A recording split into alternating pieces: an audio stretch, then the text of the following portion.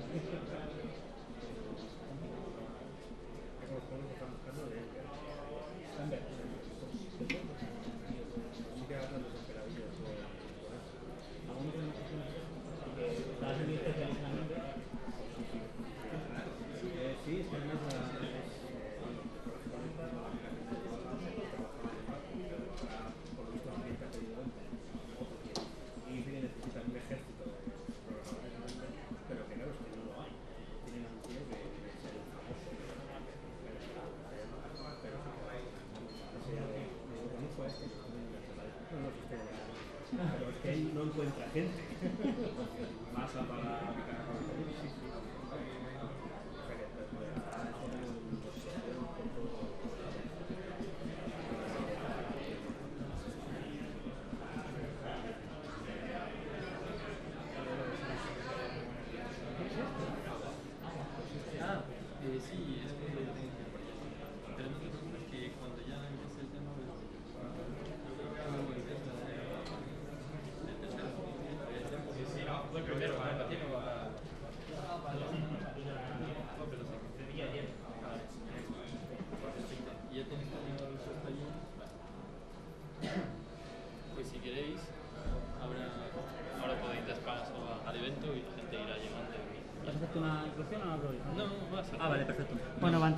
Patricia de Telefónica para, ¿Sí? Sí, para decir el agradecimiento a... Vale, pues voy a hacer entrar a la gente que está allí y vamos a... Vale, diles que, bueno, cuando quieras que venga ella y que, y que dé el paso.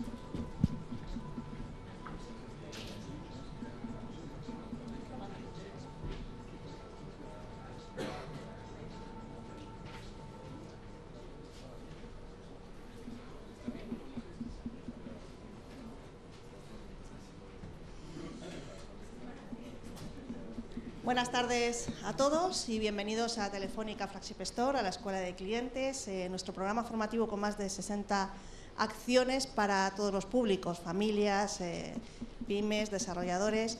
Eh, os hemos dejado un folleto con la web de la escuela para que podáis informaros de todas las actividades que tenemos aquí. Y sin más, os dejo con Román de Open Expo. ¿Mm? Gracias, Patricia. Bueno, bienvenidos a todos. Hoy como sabéis, vamos a hablar de Open Expo Mac, que es la tendencia que está impulsando la innovación en los nuevos negocios. Y en primer lugar, agradeceros a todos que hayáis venido y en segundo lugar, agradecer a la Telefónica Flagship Store que nos haya cedido el espacio. Bueno, durante la programación de esta tarde eh, vamos a empezar con César Trigo, que nos va a hacer una pequeña introducción respecto a la tendencia SMAC. Eh, luego pasaremos a hablar de la construcción de redes sociales con herramientas de software libre por Dariel Primo. Mm, luego José Jesús Pérez Rivas de 0 y 1 nos hablará de la tendencia en el desarrollo móvil y los nuevos frameworks. Luego sobre las 7 tendremos una pequeña pausa para networking, patrocinada por el restaurante Petit Comité. Y luego ya eh, Jorge Martín y Manuel Velardo nos hablarán sobre los nuevos, los nuevos servicios de Cenatic para el apoyo del sector OSS en España. Eh, José Manrique López nos hablará de la analítica de los procesos de desarrollo de software open source y inner source. Y finalmente cerraremos con Álvaro Cabrera, de Capside, que nos hablará sobre los clouds públicos a través de casos prácticos en el estado del arte. Por último, decido, deciros que podéis tuitear la, la, sesión a través del hashtag que tenéis en pantalla, OpenExposMac, y nada más, os dejo con César Trigo. Muchas gracias.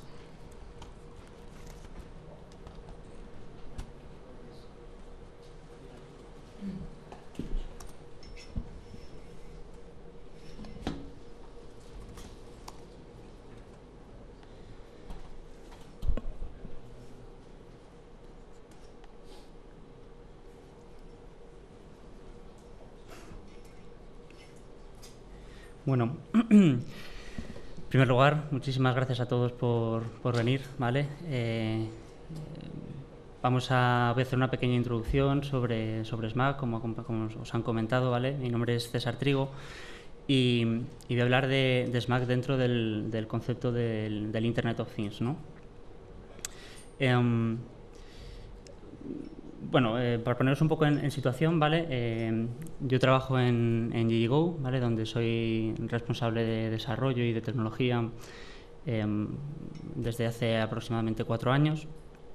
Y, bueno, es, un, caso, un claro caso de, cómo la tendencia SMAC eh, o este, este, estas cuatro tecnologías, estos cuatro movimientos que, se, que se dan ahora mismo, pues nos ha hecho impulsarnos eh, como compañía. ¿no? Eh, históricamente, Go hace aplicaciones para móviles, se define como una, como una agencia de marketing móvil.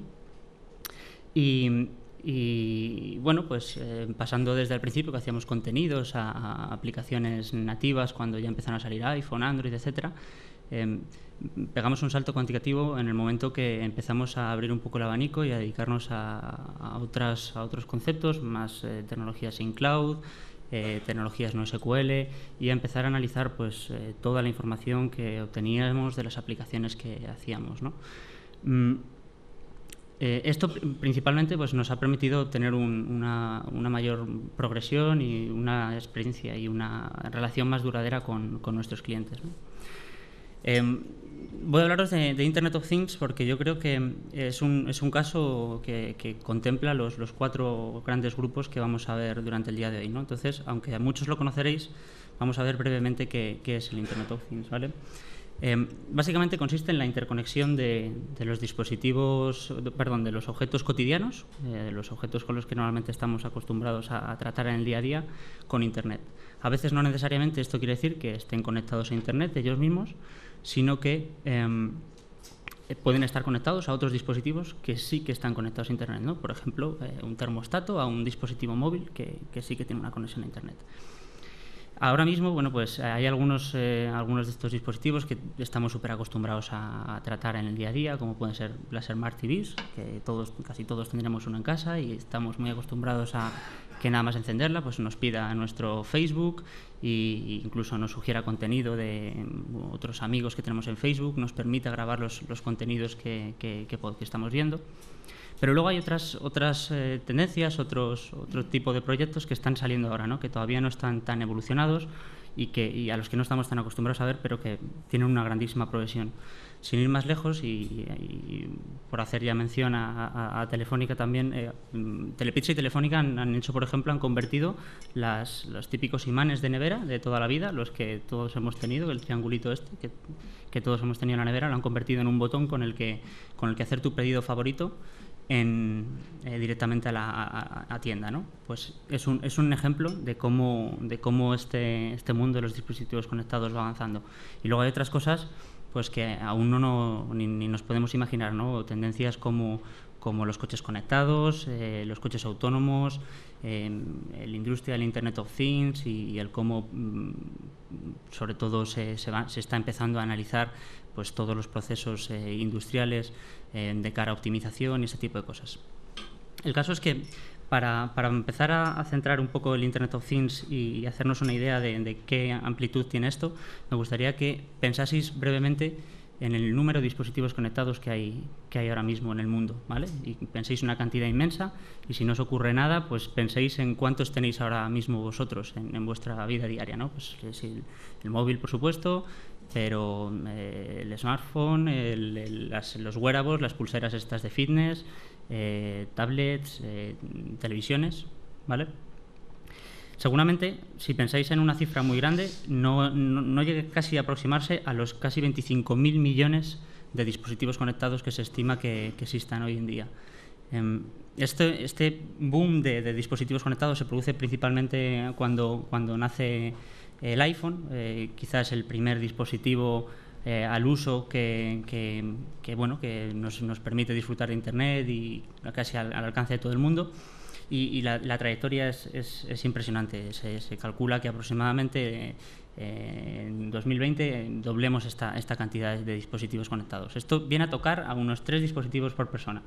Pero, sin embargo, eh, ayer o antes de ayer se hacía público por, por Facebook, eh, por el internet.org, un estudio que dice que solamente dos, o sea, que dos de cada tres eh, partes del mundo no, no, nunca han tenido conexión a Internet. Lo cual quiere decir que este, esta tendencia de conectividad está muy centrada en, determinadas zonas geográficas. ¿vale? Vamos a ver qué, qué relación tiene esto con, con SMAC ¿vale? y por qué, he elegido, por qué he elegido este ejemplo. A mí eh, me gusta mm, generalmente clasificar estos cuatro, estas cuatro tecnologías o estos cuatro grupos ¿no? en, en, el siguiente orden. En primer lugar, eh, y, no por, no por ello menos importante, eh, la movilidad. ¿no? Eh, generalmente los, los, móviles hoy en día, las aplicaciones móviles son la extensión de, nuestro, de nuestra interactuación o nuestra entrada al mundo digital. ¿vale? Em, es con ellas con las que generalmente interactuamos con cualquier dispositivo con el que vayamos a trabajar. Con una Smart TV pues podemos mandar eh, contenidos a la televisión o, por no hablar de conectarnos con otros dispositivos. Es nuestro, nuestro canal principal de comunicación con el, con el mundo digital. Después, eh, toda la parte social, eh, desde el punto de vista de, de, del Internet of Things, nos da una cantidad de información inmensa sobre eh, el cómo los usuarios interactúan con los dispositivos, eh, sobre cómo eh, estos, estos usuarios, eh, bueno, los, sus, sus, comportamientos, eh, sus gustos, todo esto, ¿vale? Y toda esa información que recibimos de estos dispositivos y que recibimos de estas redes sociales, tenemos que almacenarla, tenemos que procesarla. Aquí es donde intervienen las otras dos piezas, el, el cloud y, y, la analítica. Para, para centrar un poco más esto, me gustaría hablaros de quizá la que es la tendencia más, más fuerte dentro del, del, Internet of Things, que es el Proximity Marketing, o la, o la más evolucionada hasta ahora. Proximity Marketing básicamente consiste en, en, en, hacer campañas de marketing en las que interactuamos directamente con, con, la proximidad y los usuarios con nuestros productos. ¿vale? Podemos eh, hacer campañas en las que detectemos que el usuario ha pasado cerca de un producto o, o, que, ha, o que, ha, pasado por nuestra tienda y hacer algo, ¿no? dispararle una acción. En este ámbito, eh, bueno, pues eh, se ve claramente cómo estos cuatro, estos cuatro conceptos son clave, ¿vale? Eh, hay una serie de tecnologías, algunas de ellas son, son estas que están aquí. Mm, voy a empezar por la parte de geofencing. básicamente consiste en, hacer campañas de marketing localizado en base a la ubicación geográfica del usuario y poder pues, pusearle con, con contenido de su interés. NFC, muy, muy de moda ahora con, todo el, cashless, las tecnologías de, pago, ahora un poco más potenciado por Apple. Quizá esta es la menos extendida precisamente porque Apple no la ha incorporado de forma pública en sus, dispositivos. Y luego otras cosas como, como, reconocimientos de imágenes, lectura de códigos QR, lectura de códigos de barras, que básicamente todo esto nos permite tener experiencias digitales eh, en base a los productos con los que está interactuando el usuario. Mm, me he dejado los beacons para el final. No sé si conocéis lo que son los beacons, a veces mal llamados iBeacons, un nombre popularizado por, Apple. Son unos pequeños dispositivos Bluetooth, unas como balizas, Bluetooth 4.0. Si no los conocéis, he traído un puñado de colores y formas totalmente variopintas, ¿vale? Y luego los podemos ver. Eh, estos dispositivos permiten interactuar con, con, otros dispositivos por su proximidad, ¿vale? Em, si, pensásemos en, una estrategia en la que pues, pusiésemos estos dispositivos en un centro comercial simplemente centrándonos en la movilidad, eh, pues podríamos hacer cosas chulas, eh, tecnológicamente punteras, pero nada más. Eh, podríamos hacer cosas como detectar que el usuario ha pasado delante de la tienda y lanzarle un mensaje promocional. Esto está bien, pero combinado con los otros tres elementos, con su información sociodemográfica, sus gustos, sus hábitos, incluso su relación con otros clientes que pueden ser también clientes míos, em, pues el, valor se va incrementando. Y sobre todo, em, todo lo referente a cloud y todo lo referente a analítica nos va a permitir pues, eh, que esos mensajes, esas comunicaciones, esas campañas de marketing que hagamos em, sean muchísimo más eh, productivas y, encaje mucho más con el perfil del usuario, ¿no? probablemente aumentando las conversiones. Entonces, eh, como veréis, estoy centrando mucho en todo esto de, digamos, estos cuatro temas, estoy centrándome mucho en, los dos últimos, ¿vale? Para mí son los, que, los dos que más valor eh, tienen en este sentido, sin quitarle protagonismo a, la parte social y la parte de movilidad, ya que yo los veo como algo, como algo que tiene que estar ahí, que hoy en día no, no hay producto que se precie ni, ni, estrategia que, que, merezca la pena que no cuente con estas dos, con estas dos eh, tecnologías, que es toda la parte de móvil y toda la parte social. Sin embargo, eh, lo que yo creo que realmente va a diferenciar nuestro producto, lo que nos va a permitir ser más competitivos es nuestra estrategia en cloud, por temas de, costes, nuestra, nuestra, sobre todo por, poder automatizar eh, pues las operaciones que tenemos que hacer sobre las infraestructuras que requieren tener miles de dispositivos conectados. Y, luego, eh, cuando hablamos concretamente de Internet of Things, estamos contando con que obtenemos información de no solo miles de dispositivos, sino de otras fuentes, como pueden ser fuentes sociales o sensores de temperatura, sensores de, movimiento, que, tienen formas totalmente dinámicas y, que, no, que, no, tienen relación entre sí. En este sentido, eh, aunque no está tan relacionado con, el cloud, eh, las tecnologías no SQL o este nuevo, esta nueva forma de almacenar la información pues nos van a ayudar eh, muchísimo, mm, principalmente a, eso, a poder almacenar esta información y además a procesarla para obtener el valor que, está, que está oculto dentro de, todo esto. ¿no? En resumen, y por, ir eh, zanjando esta pequeña introducción, ¿vale? Em, yo creo que, la combinación de estas cuatro tecnologías, teniendo el móvil como, como punto central, eh, nos va a aportar un valor eh, especial a todo producto, a toda, a toda campaña que hagamos y por tanto tenemos que, tener siempre, tenemos que tenerla siempre en cuenta. Voy a, no me voy a extender mucho más, voy a dar paso ya en breves a, mis compañeros. Em, eh, me gustaría anunciaros algo que no, que no estaba dentro del programa, que no se ha mandado por las redes sociales ni estaba dentro del guion, ¿vale? que es em, un producto que, bueno, cuando me comentó Philip que si, que si estaba interesado en venir aquí a hacer esta pequeña charla introductoria, pues casualmente coincidía con que esta semana íbamos a anunciarlo y por qué no hacerlo de forma pública hoy, ¿vale? Pues es un producto muy, muy ligado a la movilidad y por tanto encaja en uno de los, de los temas que, que vamos a ver hoy y muy, muy, muy cercano a, no a la movilidad solo, sino a, la, a las aplicaciones, ¿vale? A, como las aplicaciones móviles.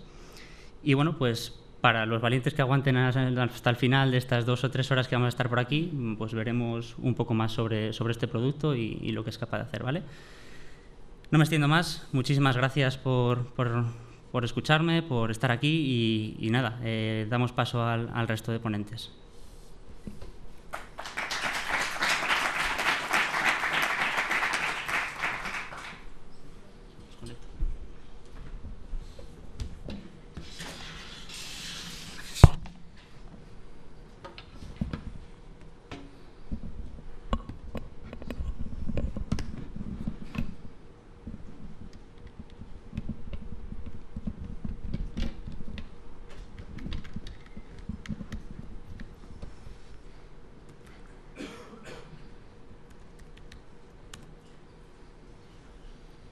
¿Empezamos bien?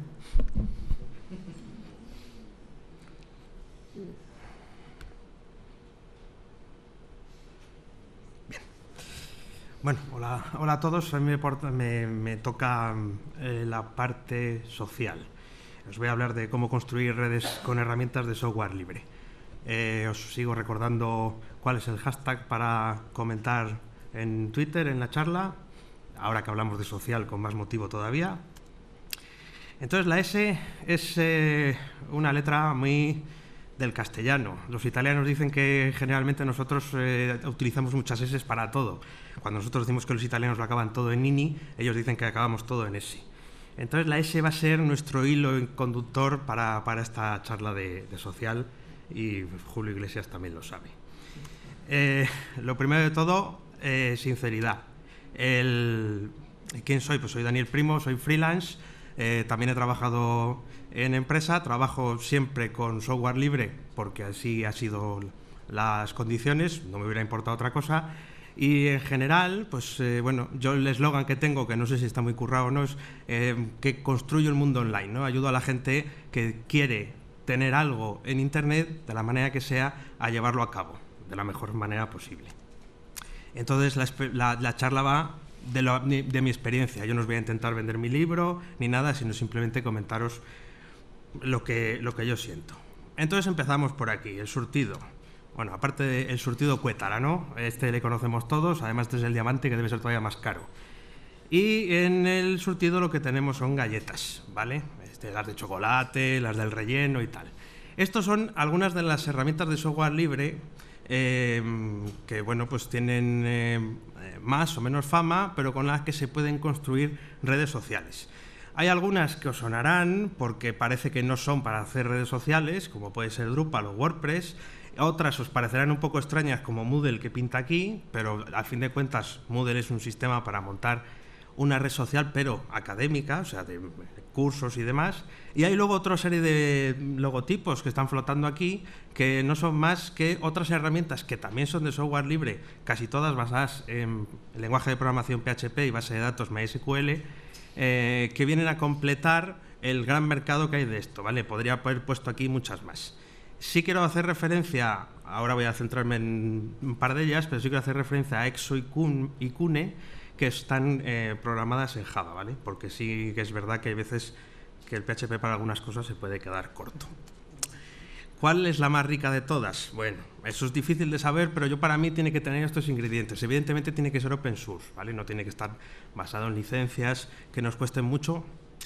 Los requisitos mínimos de la red social tienen que estar cubiertos, bueno, aquí es, pongo el palabra en inglés, pero básicamente es que no tengamos que ponernos a programar para tenerlo todo, sino que podamos utilizar la experiencia que tiene la comunidad para poder sacarlo adelante tiene que ser flexible, que me deje que tenga cintura, que pueda hacer cosas con ella, fácilmente escalable, que esto suele ser un problema que suelen tener. Eh, la comunidad de usuarios es un valor, si bien cuando tenemos un, software eh, pues de, de, empresa y demás, lo que queremos es que esté un Microsoft, un Google, una empresa de valor detrás, aquí lo que tenemos que buscar es que la comunidad de usuarios o las empresas que trabajan para esa herramienta, que la surten, que la, que la siguen evolucionando, sea amplia. Que haya aportación de documentación, esto sobre todo lo digo para los que se dediquen a programar y demás, y luego que tenga cierta historia, o sea, que tenga un histórico de años o de tiempo de desarrollo, ¿vale? Y no olvidemos, ya que hablábamos de galletas, pues aquí pongo un pastel nucial de estos que le gustan tanto a los americanos, que también existe la programación a medida. No me voy a meter ahí, pero la programación a medida basada en herramientas de software libre eh, también es una opción. Lo que pasa que, como siempre, pues hay un incremento de coste y de tiempos. Sobresaliente, que estas son las notas que queríamos sacar siempre. Bueno, queríamos sacar matrícula de honor, pero se han empezado por ese. ¿Por qué Drupal? Que es por lo que mm, eh, generalmente trabajo más yo. Porque, bueno, las características las podéis buscar, las comparativas y demás, en un montón de historias. Yo aquí cuento algunas. ¿Por qué me utilizo yo Drupal? Pues porque es versátil, porque puedo hacer eh, con ello lo que quiera, entre comillas, ¿vale? No se puede subir no se puede ir a la luna montando un Drupal, pero eh, gracias a eh, la comunidad que tiene, a la cantidad de funcionalidad que podemos disponer sin tenerla que programar desde cero, a cómo encajan las piezas, a la gente que está detrás y a la facilidad que tiene para integrarse con lo demás, con un comercio electrónico, con un blog, con una red de contenidos, con otros entornos de terceros, con aplicaciones móviles, esa es mi opción elegida. Lo que pasa que, bueno, eh, WordPress ya sabéis que es la herramienta por excelencia para gestionar pues una página sencilla, un blog o una red empresarial, da igual. Y WordPress tiene un plugin que se llama eh, BuddyPress, que es eh, el que consigue convertir ese WordPress en una red social, que también tiene algunas características especiales. Yo no lo conozco tanto, a mí una de las cosas que sí que me gusta es que ya tiene funcionalidad integrada. O sea, ya tenemos la típica funcionalidad de red social con grupos, mensajería privada y demás, ya viene establecida dentro de la plataforma. Esto es una cosa que comparte con Elg, que es otra de las eh, herramientas que os ponía al, principio, ¿vale? Y luego pues comparte características con, WordPress. Sabiduría.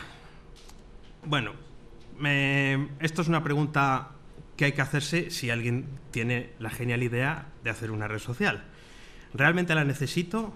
La red social de, y ahí pues donde he puesto la raya, y bueno, pues eh, que quiero, tengo una peluquería y quiero montarla de peluqueros, o de juguetes, o las hay también de amantes y de relaciones eh, extramatrimoniales y tal. Bueno, ¿realmente lo necesito? Con toda la cantidad de redes sociales que hay, yo necesito montar la mía propia.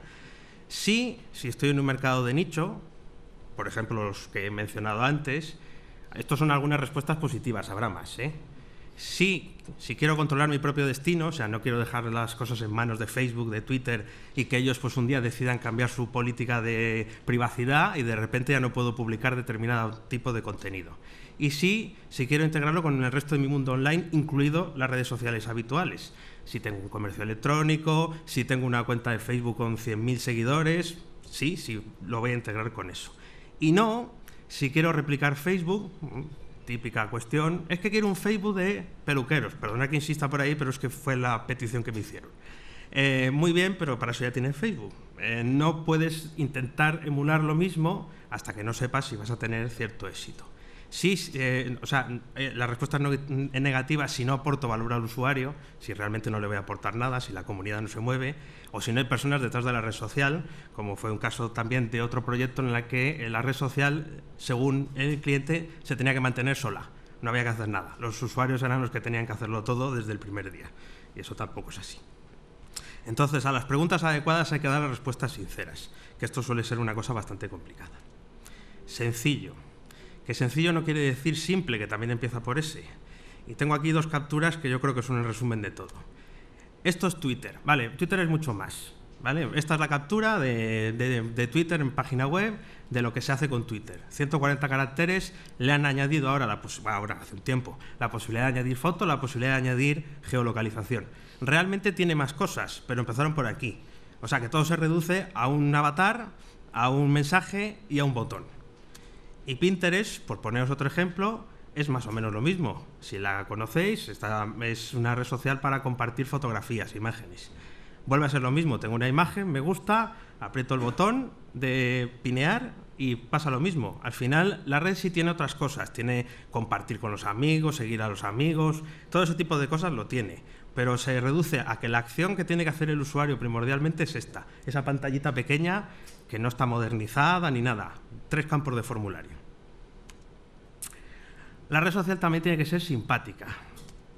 ¿Y por qué? Porque no podemos poner el piloto automático, el famoso piloto automático de aterriza como puedas. Eh, no podemos dejar que la red social, esto no es una cuestión tanto técnica, pero sí de la experiencia vivida, no podemos dejar que la red social se maneje con las cuestiones técnicas, sino que tiene que haber gente detrás de ella. Eh, bueno, las, transparencias las dejaré en mi cuenta, ¿vale? De Twitter para que podáis acceder a ellas. Eh, ¿Cuáles pueden ser algunos trucos?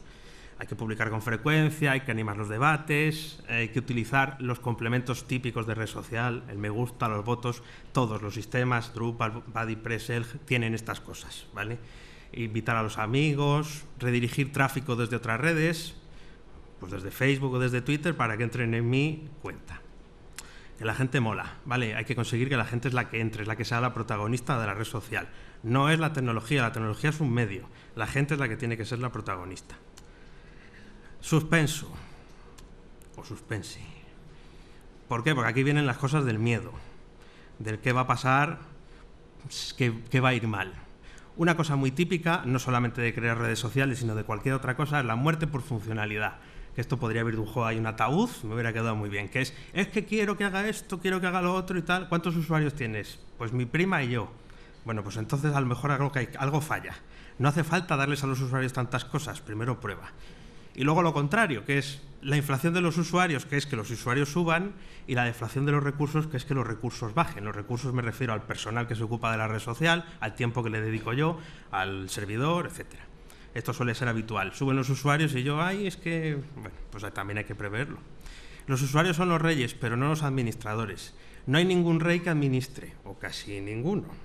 Pero no hay reyes que administren, los administradores son otros. Entonces el rey es el, usuario, el usuario es el que tiene que ser el, objeto de nuestro mimo, pero no es el que va a administrar la red, va a administrar como mucho su grupo si le interesa. ¿vale? El administrador tenemos que ser nosotros y hay que evitar el aislamiento.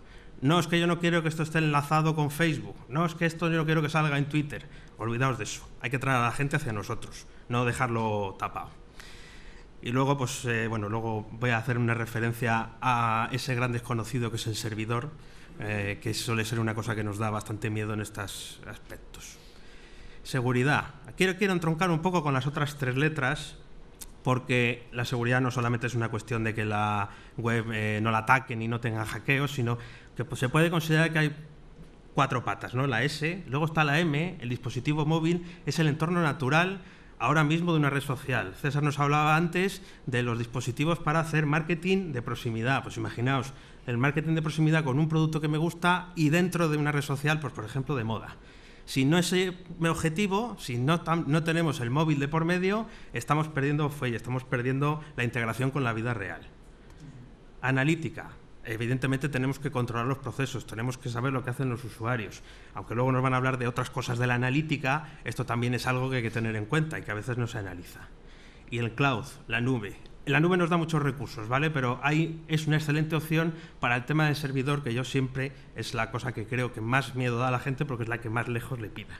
Entonces, en esto, eh, después de mucho probar, al final está claro que la nube es una solución para poder despreocuparse un poco del tema del servidor, de que los recursos de mi sistema, pues si entran mil usuarios a la vez porque esto lo ha petado con una campaña, esto se vaya todo al traste y se caiga la página, que es lo que suele pasarle al Ministerio de Hacienda el primer día de las devoluciones, ¿no? de la declaración de la renta, normal. Eh, pues eh, en red social nos puede pasar igual. Yo utilizo es la del medio, Cloudways, ¿vale? Pero hay otras muchas eh, que, como os digo, pues se pueden utilizar para que los recursos se puedan escalar. Evidentemente todo eso tiene un coste, pero eh, digamos que nos puede tranquilizar. ¿vale? Se acabó el tiempo aquel de que el servidor era una cosa cerrada, había un señor allí con una camiseta negra, con pálido, y no, esto no se puede tocar. esos mundos ya acabaron. La SD, sorpresa que esto es muy feo, pero también tenéis que tener en cuenta que si tenéis una red social o queréis montar una red social, tenéis que contar con la sorpresa tenéis que sorprender a la gente para que haya cambios de hábitos o para que la gente lo utilice más. Y soñador. Que soñador no es confundir con tener sueño, ¿vale? Que a lo mejor alguno ya empieza a, a moldarse a la forma de la silla. El usuario solo vuelve a la red social si cumple un sueño. El usuario solo vuelve a la red social si es útil. No podemos eh, crear una red social que no sea útil porque entonces la gente no vendrá, no la utilizará.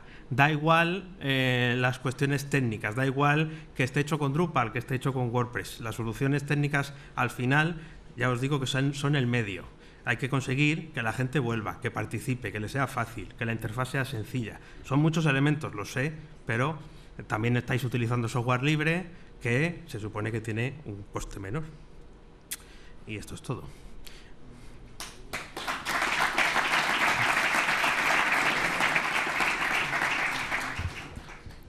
Gracias.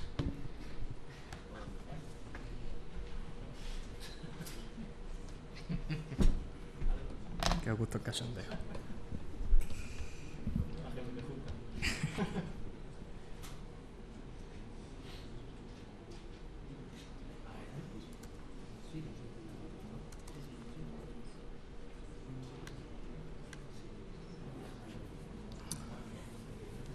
Bueno, buenas tardes a todos. ¿Vale? Yo vengo de la empresa 0 y 1. Ahí tenéis, bueno, todo el nombre que tengo, ¿no? Al final se queda todo en Pepe. Soy CEO de 0 y 1. Es una, una pequeña empresa de, de Sevilla. Desarrollamos prácticamente todo lo que es en movilidad y sobre todo eh, desarrollo híbrido. Soy Adobe Community Professional y, y manager de, de la comunidad Fonga Spain. También me ha, me me ha resultado muy interesante la charla de mi compañero de antes porque ella, Fonga Spain, un poco red social ahí, tiene foro, tiene todo y lleva mucha razón en que hay que incentivar a, los usuarios que, a, que, se animen a entrar y a, darle cosas siempre nuevas. lo importante no es con qué esté hecha incluso, porque incluso está hecho con WordPress, simple, pero lo importante es que, la gente vuelva a entrar y que se animen entre ellos mismos. Eh, yo quería hacer una pregunta, a ver cuántos de, de vosotros había desarrollado alguna aplicación móvil alguna vez o alguna empresa eh, de los que haya que haya desarrollado una aplicación móvil. ¿Uno? ¿Solo? Va, bueno, bueno, vale, me había asustado.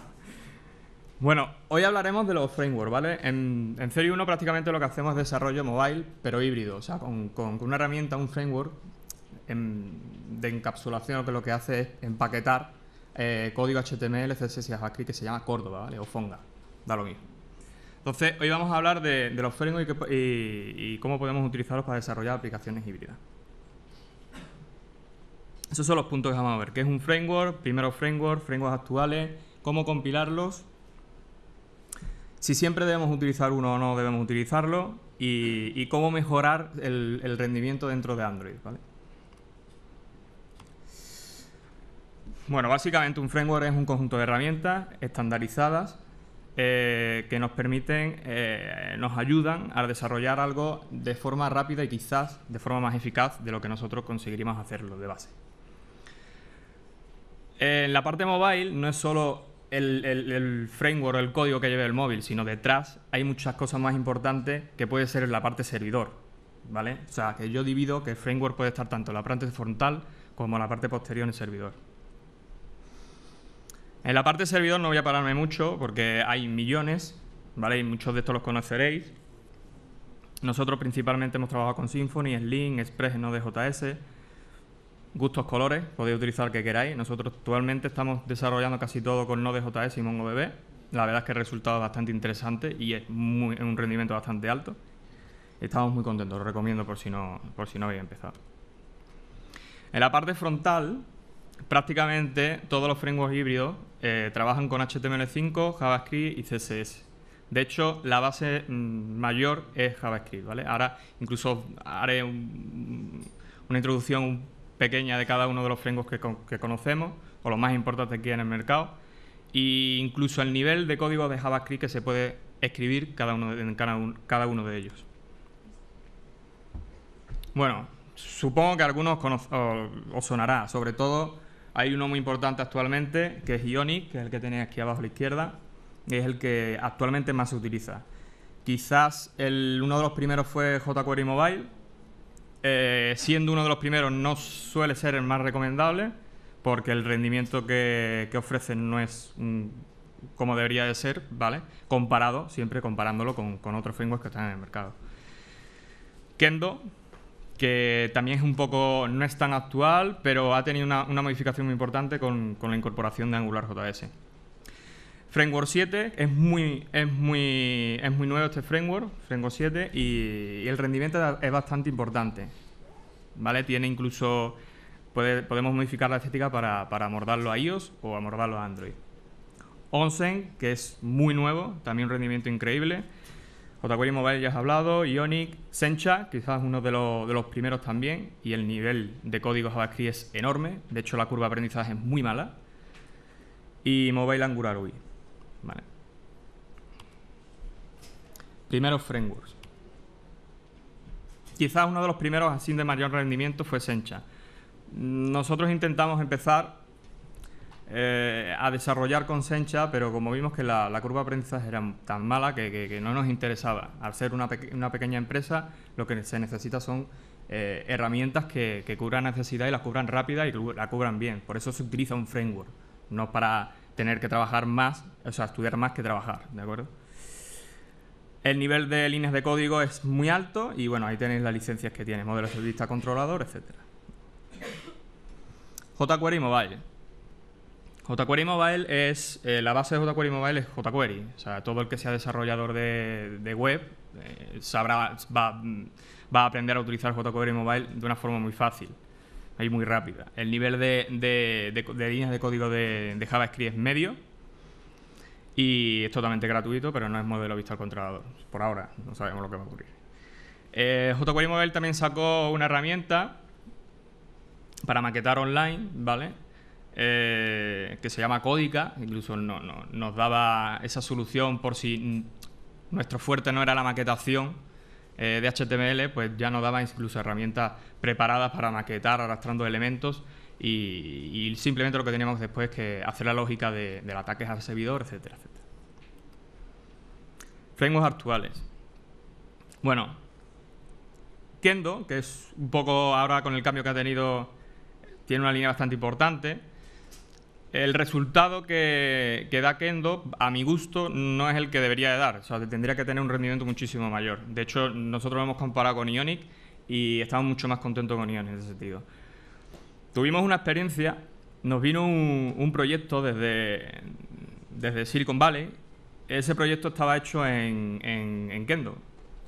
Y la verdad es que de tan poca información que había, tan dispersa y tan mala, tuvimos que desechar totalmente el proyecto que, estaba creado y empezar con Ionic, aun estando Ionic en una versión beta bastante temprana, ¿de acuerdo? Pero la estabilidad que ofrecía Ionic en ese caso era mayor. Ahora ya es modelo de estado controlador porque han incorporado Angular JS y la verdad es que, aunque mi experiencia no sea buena, es un, es un buen framework. Ionic. Quizás una de las apuestas más fuertes que hay en el mercado actualmente. Es un framework que ha salido hace muy, muy poco, pero la acogida que ha tenido y la que está teniendo es increíble. Su base es Angular, JS, y también tiene jQuery. O sea, no, no, no quiere decir que por tener Angular no puedas tener jQuery. De hecho, cualquier función de jQuery que queráis utilizar la podéis, la podéis explotar dentro de un proyecto de, de Ionic. Eh, los beneficios que tiene Ionic quizás es que eh, te dan la posibilidad de crear una interfaz de forma rápida, porque ellos ya tienen un modelo creado, modelo vista, y lo que hace es que directamente si necesitas una lista de, de contactos, pues tienes el código para copiar, pegar y funciona.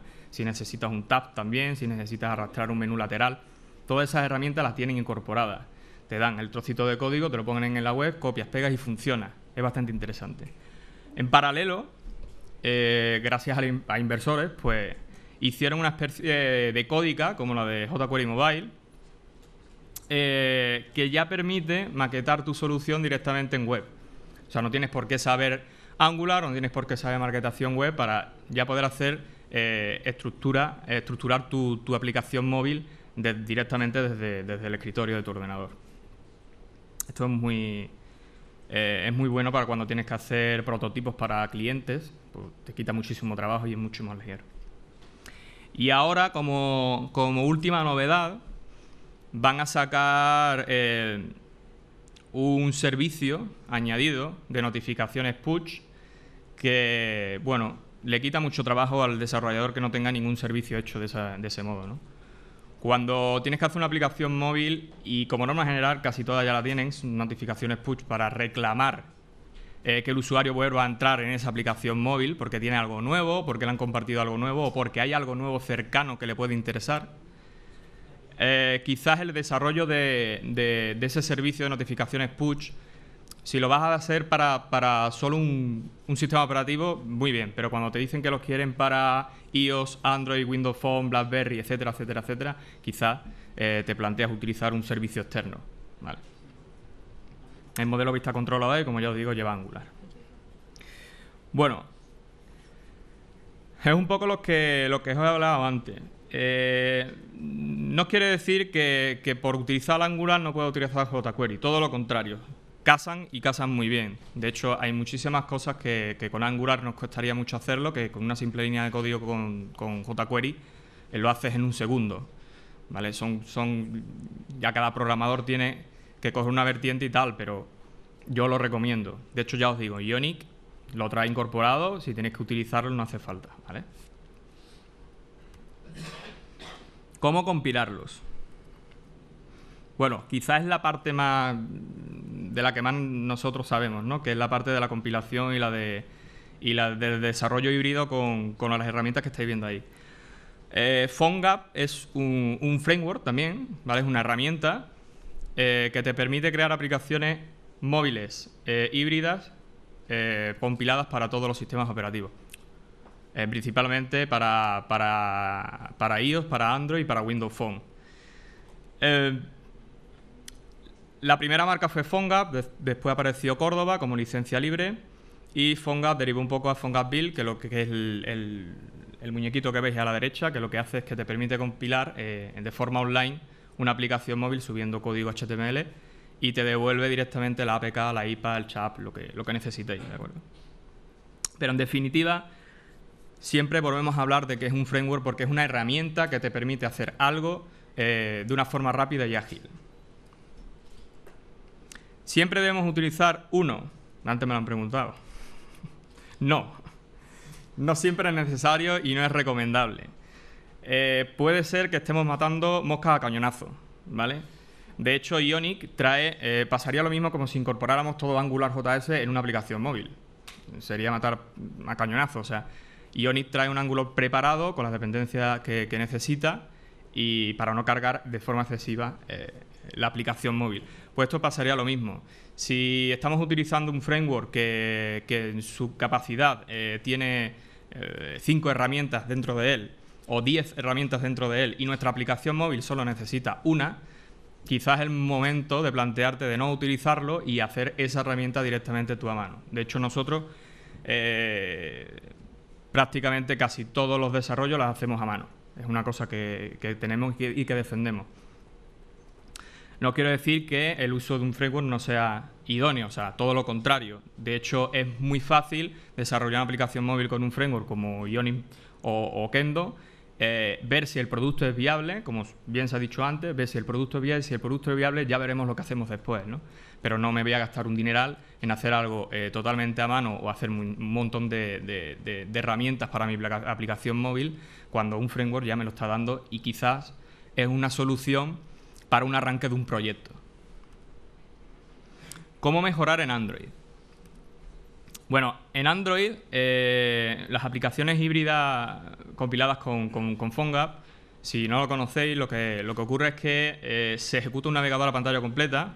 No es el navegador en sí que abrís de- desde, el, desde el botón del escritorio, desde el icono del escritorio, pero es un navegador. Y el rendimiento del navegador quizás no llega a tener eh, la suficiente fuerza como para, como para ejecutar bien una aplicación pesada.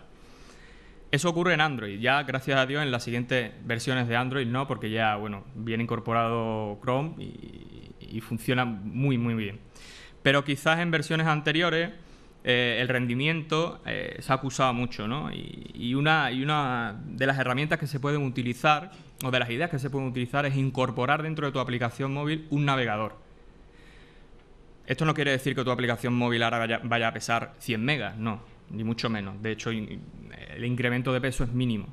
Lo que ocurre es que este tipo de navegador, por ejemplo, eh, exprime y eh, consigue exprimir todo el rendimiento que necesita una aplicación móvil. Si alguna vez habéis probado alguna en- y habéis comparado una, una híbrida en Android, por ejemplo, un Samsung S3 o un iPhone, claramente se ve que el rendimiento en iPhone es muchísimo mayor. Pero quizás, ¿vale?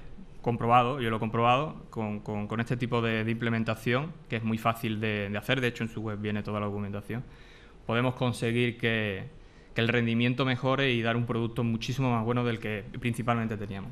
Normalmente nosotros lo utilizamos cuando hacemos algo mejor cuentos interactivos o juegos en 2D que necesitan un poco más de rendimiento y el cliente al principio te dice que lo quiere solo para iPad porque son la gente, se supone que es lo que paga en el mercado, pero después es verdad que tienes que estar en Android porque hay muchísimo mercado y tu, y tu producto debe estar allí. Y poco más, o sea, dar las gracias a la organización, al Open Expo, por, por organizar este tipo de eventos.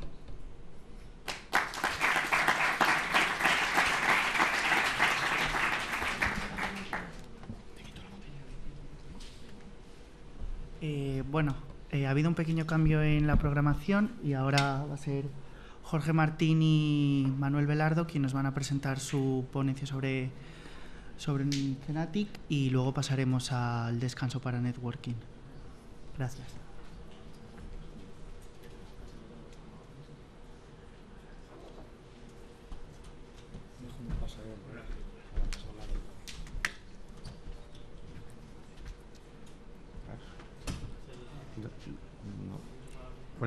¿Cuál es mi cámara, por favor?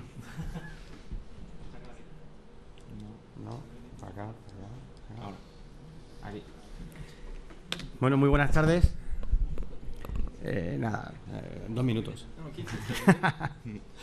bueno, eh, gracias por, a la organización por la invitación, a, Cenatic por, ayudarnos a, difundir todavía más ¿no? el, concepto de software libre nos ha venido muy bien que antes había, haya habido dos, presentaciones que entroncan bastante bien con la problemática que queremos presentar y cómo desde, desde CENATIC, al final desde el Estado, del Ministerio de Industria, podemos ayudar a solucionarla. Por lo menos una parte, no, no nos volvamos locos, por lo menos una parte. ¿no? Primero han, comentado el tema de la caja de galletas, ¿no? del surtido, que ha sido muy bueno. De hecho, es que eso es lo que pasa con el software libre. Aquí entiendo que casi todos, pues, o, tenéis una app, o tenéis una empresa, o desarrolláis, o os gustaría hacerlo. Claro, software libre está fenomenal, está muy bien, pero ¿dónde empiezo? ¿Cuál elijo? ¿Cuál es el mejor? ¿Cuál es el peor? ¿Con cuál me voy a equivocar menos? Ese, es uno de los grandes problemas que tiene el software libre.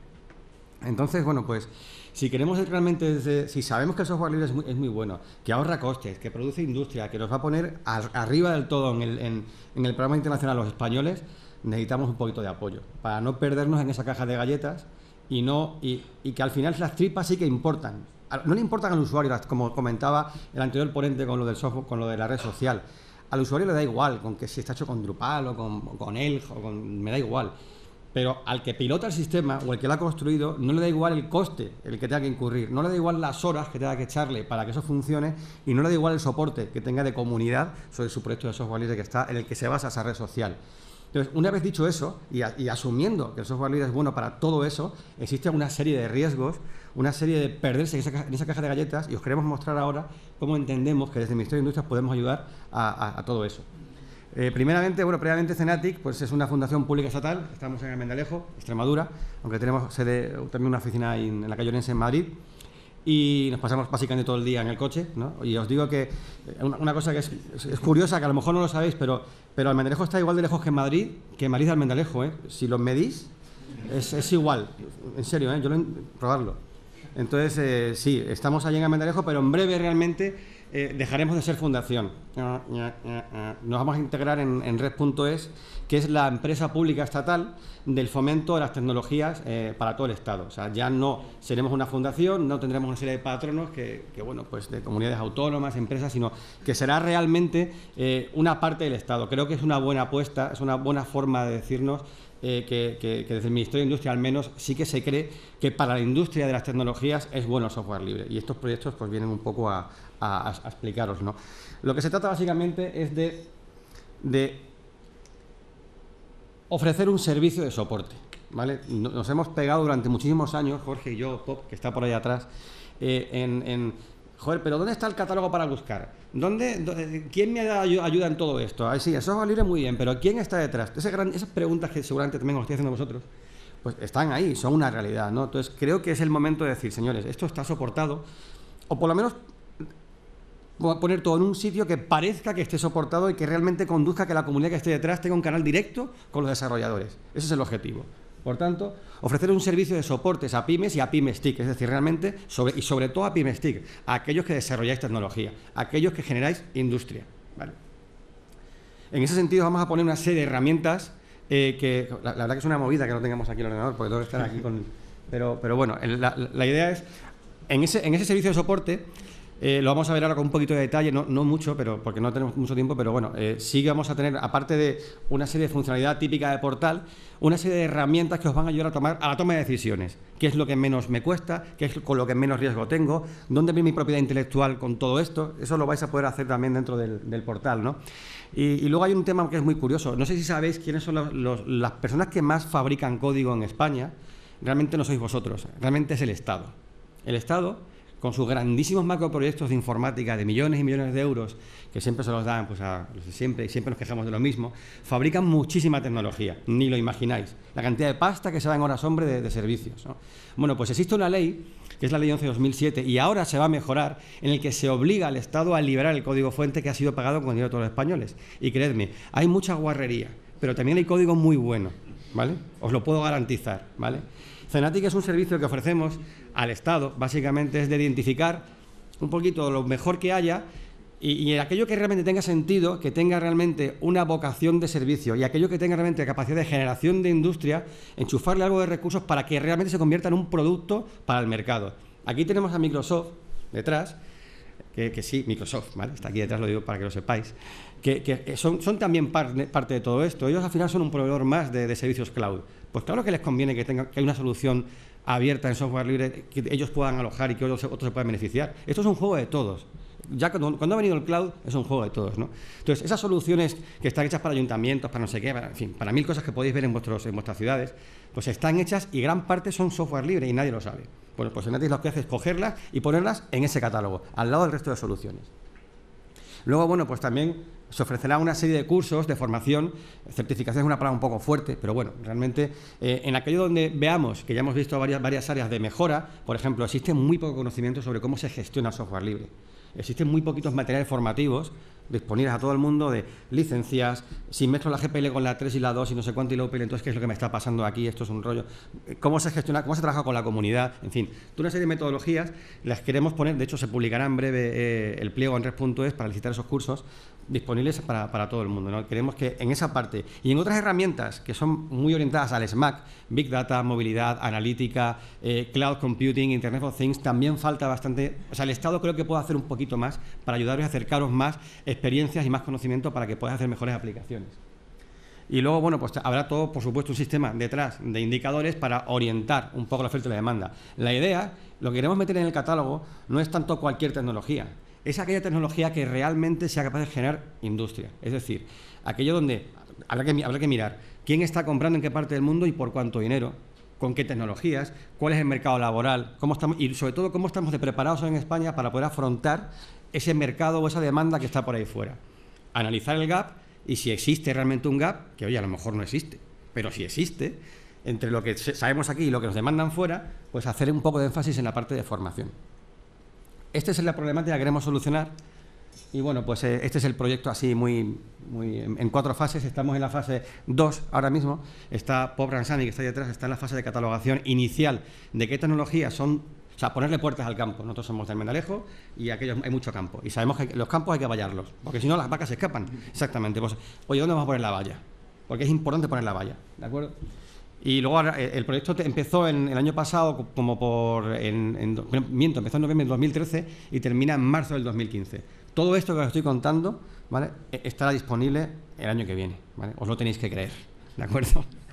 Lo que pasa es que ya está en marcha, ya tenemos los servidores, ya tenemos los hierros, ya tenemos la, certificación, la oficina técnica, en fin, ya están los pliegos encima, ya están los pliegos en la calle, ¿vale? O sea que no es, no es, una, no es un cuento, ¿de acuerdo? Jorge, si quieres tú ahora, y yo ya, ya, paso, ¿sabes lo que...? ¿eh? Buenas, igualmente, buenas tardes, muchas gracias por venir, gracias a la organización. No, simplemente quería empezar eh, a contar en la primera fase, bueno, un poco en lo que se divide el proyecto que ha contado Manuel, con un caso real que nos ha pasado esta misma mañana.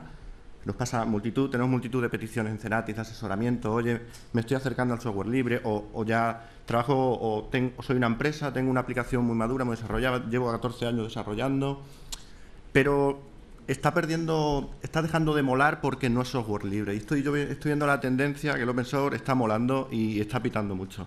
¿Qué puedo hacer? No tengo ni idea, no sé de licencias, no sé cuáles son las de la Free Software Foundation, las de la OSI, o sea, cuáles son incompatibles, no tengo ni idea, estoy perdido.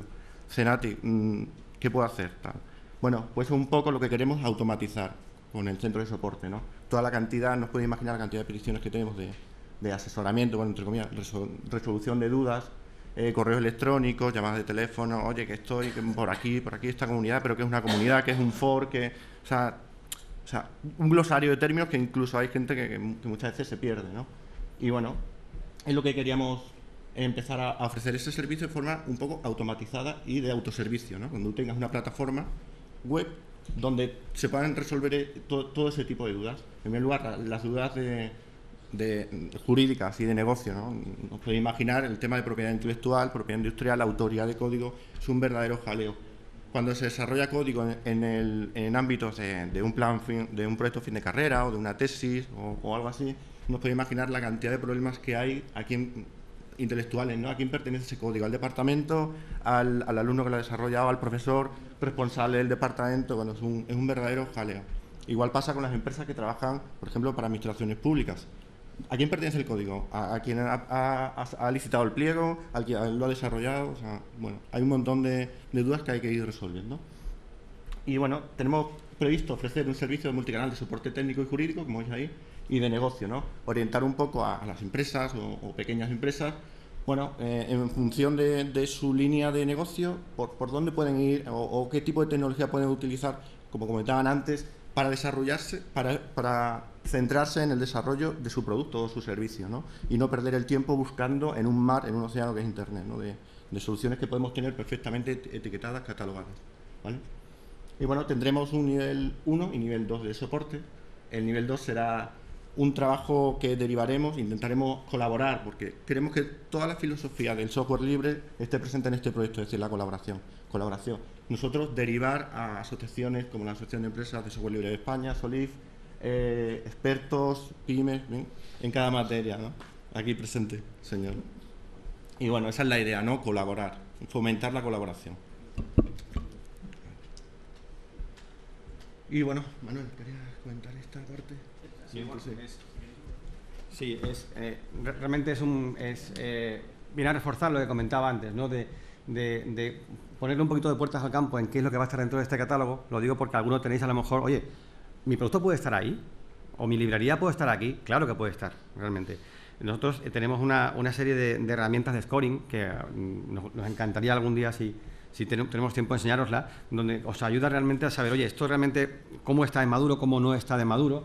Entonces, todo eso, eh, por supuesto, estamos totalmente abiertos a que nos paséis en ese momento, obviamente, pues la información del proyecto para que pueda estar alojado en el catálogo y, por tanto, a disposición de cualquiera. ¿vale? Eh, y vuelvo a repetir, lo más importante también del catálogo, el software público. Ese software se por dinero de toda la gente, que también está disponible y soportado.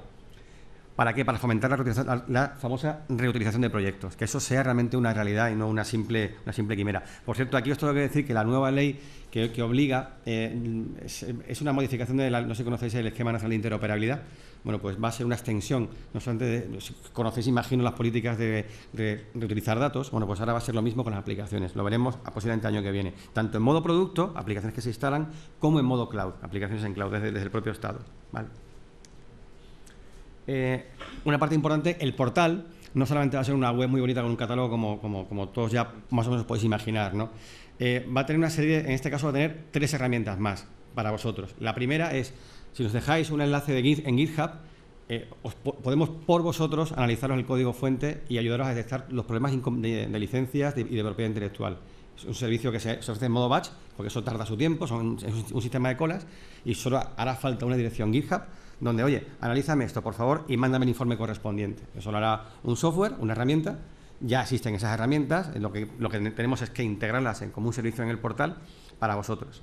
Otra de las herramientas que son, son, realmente son herramientas que nos, han, nos habéis pedido durante muchísimos años. Otra herramienta está mucho, mucho más pensada a lo mejor para un CEO de una, de una gran empresa, que es la herramienta de riesgos. O sea, dada mi informática, dada mi plantilla y mi estructura de costes, y dado la madurez y la sostenibilidad del software, que, del software libre, ¿por qué punto de mi informática tengo menos riesgos para empezar un proyecto? Para ofrecerle al CEO realmente que estoy bajando los costes de operación. ¿Por dónde? Bueno, pues por aquí, por allí. Pues esa herramienta también estará disponible dentro del portal. Siento hablar en futuro, yo sé que es horrible, pero, pero, pero es así, de momento es, es, futuro. Y la, y la, última herramienta es ese, ese wizard, ese, ese ayudante que os va a ir ayudando a navegar, valga la redundancia, por el catálogo. Está muy bien que tengamos una lista larga de... de Imaginad que el catálogo alcanza mil, mil ítems. Bueno, mil ítems realmente al final es un problema para vosotros. Si no tenéis una ayuda que, según vuestros parámetros os ayuda a navegar por él para acabar de la lista larga en una serie de pasos en lista corta. Si eso no existe, el catálogo no vale para nada, porque sigue siendo un mar de información. Entonces, hay una herramienta que está justamente, em, eh, bueno, la, tenemos ya en hojas de cálculo y lo que hay que hacer también es integrarse en el portal, que la hicimos con, la Universidad de Oxford y con, bueno, con, la Apache, Apache, Foundation, con Ross Gardler, eh, que define una metodología de selección de componentes, siguiendo una serie de pesos, variables y demás. ¿no? Es un poco compleja, pero a ver, como decían antes, ya tenéis el ahorro del software libre, hay que invertir tiempo, no todo es igual de gratis, por decirlo así, ¿vale? Pero al final está muy bien, porque os, orienta dentro del catálogo a, a las soluciones ganadoras, ¿no? Para justamente minimizar el riesgo a la hora de utilizarlas. Eh, por supuesto, documentarlo todo en un único sitio y, como decía, pues ofrecer eh, asesoramiento de calidad eh, y realmente en aquellas tecnologías que por, las que también las que apuesta el Estado, en lo que está la agenda digital, es lo mismo, es e-commerce, es cloud computing, es big data, es Internet of Things, es smart cities. Todo eso es por lo que el Estado español está apostando ahora y tiene programas y programas y programas de ayuda con la agenda digital, el Horizonte 2020. No podéis ni imaginar la cantidad de, programas y de ayudas que van a tener hasta el 2020. En estas líneas, pues en, en estas líneas realmente, si buscáis, casi lo único que hay es software libre. Lo bueno es saber, oye, qué es lo que, qué piezas son las que me convienen a mí más y cuáles piezas me convienen menos. De eso va un poco el, servicio. Jorge, si quieres sigue, sí, tú bueno, está aquí veis eh, en la foto, ¿no? Eh, el big picture de, lo que va a ser un poco el centro de soporte. Y bueno, me gustaría también destacar eh, lo que pretendemos es tener una relación muy estrecha con las comunidades, ¿no? Con las comunidades españolas y, sobre todo las americanas, de los grandes productos americanos de, de open source conocemos a esa gente y queremos involucrarles en, la consulta, en la resolución de dudas a la gente a través del centro de soporte. Entonces creemos que, bueno, hay mucha gente muy buena por ahí, yo siempre lo digo, que está dispuesta a colaborar, a colaborar siempre, es su filosofía de vida. Y, bueno, y creemos que, pueden ser de gran ayuda para, resolver dudas específicas o complejas a, a, las comunidades incipientes en España o asentadas, ¿no? digamos.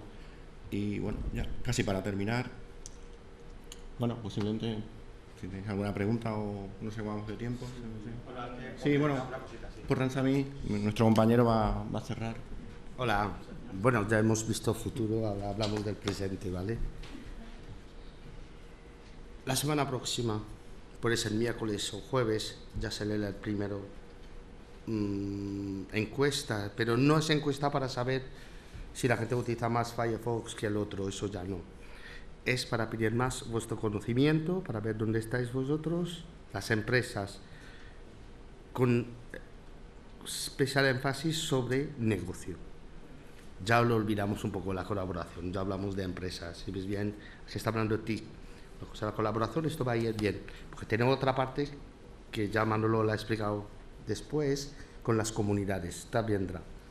Pues lo que pide, lo pido a vosotros, ya lo pide al organizador del, del evento, si nos da los emails para que lo podamos mandar a vosotros, para que podáis ver en la página web de Senatic donde lo vamos a hacer, para que se aporta vuestro conocimiento sobre esto. ¿Qué lo vamos a hacer con todos estos conocimientos? Es, que Manolo ha presentado antes, en la base de conocimiento. Esto se va a extraer después para poder ofrecerles servicios. Eso ya empieza la semana próxima y ya he visto un poco lo que está haciendo algunos, por ejemplo en IOT, muy bien, habrá especialistas de la NASA que será como expertos en nosotros, aeroespaciales, la NASA y Microsoft también, que servirá para calibrar todo esto después. Pues habrá soluciones para, para ti también, digamos, para mm, los móviles y todos estos. ¿vale? Pues podéis entrar en la página web de Senatic la semana próxima, sobre todo los jueves, ya ten- tendrá el formulario. Ese estudio es parte de- de- de- de- del proyecto anterior. Tiene un- el, el coste del proyecto global es un, es un proyecto de colaboración entre Cenatic y, y Red.es. Son 2 millones de euros. Eh, ahora mismo estamos justamente a mitad de ejecución. O sea que es algo que no es algo ¿vale? baladí, que es una apuesta yo creo que, que interesante. ¿no? Y nada, pues ya preguntas si queréis ahora, si no os da mucha vergüenza, pues ya en el networking, con la cerveza única que nos van a dar a cada uno, según me han dicho, una única cerveza, ¿vale? Que conste, ¿verdad? ¿Vale? Pero en cualquier caso, si queréis, si queréis ahora alguna pregunta, un valiente. Cuando estáis hablando de software libre, estáis hablando de software gratis, ahí empezamos a preguntar. Madre mía, esa pregunta necesitamos dos cervezas para respondértela. Si quieres te respondo luego, porque créeme, es, software, software libre. La respuesta es software libre. Una licencia libre, cualquiera de las, de las 70 y tantas que tenga. No, no, no. Cualquiera de las 70 y tantas licencias libres que haya. Licencias, son 76. O sea, MITS, aquí ha habido muchos proyectos ¿no? que han presentado eh, con, su- con 1000, que GPL3, que tengan Apache, no sé, cualquiera. ¿Vale? Cualquiera. Software libre, sentido de las cuatro libertades, no filosofía.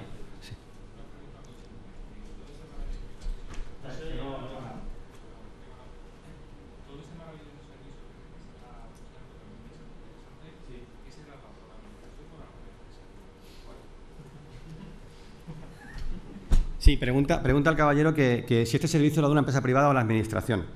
Y es una muy buena pregunta, ¿vale? No queremos meternos en el terreno de las empresas. La empresa, lo que pasa es que al día de hoy, al día de hoy, y que si, me, si me equivoco que me corrijan, no hay ninguna empresa que lo dé. Entonces, eh, como hemos explicado además antes justamente a los organizadores, este servicio, este servicio eh, lo ponemos en marcha porque no existe nadie que lo esté dando.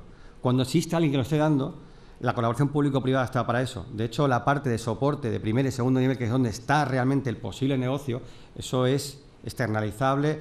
Es más, es un portal Open Data. Cualquier asociación, cualquier empresa sería perfectísimamente capaz de coger esto que también va a ser software libre y decir, chicos, yo lo hago mejor que tú, lo hago yo. Esto, todo esto también va a ser libre, todo. ¿vale? Entonces, el Estado actúa porque no hay una empresa al día de hoy, por lo menos en España, que lo haga. En Estados Unidos sí que la hay, ¿vale? pero aquí no. Entonces, como no la hay, el Estado actúa hasta cuando haya una. El Estado, ¿qué es lo que hace? Se retira y que siga la fiesta.